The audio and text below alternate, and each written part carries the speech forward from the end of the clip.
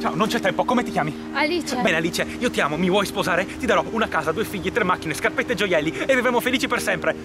Sì!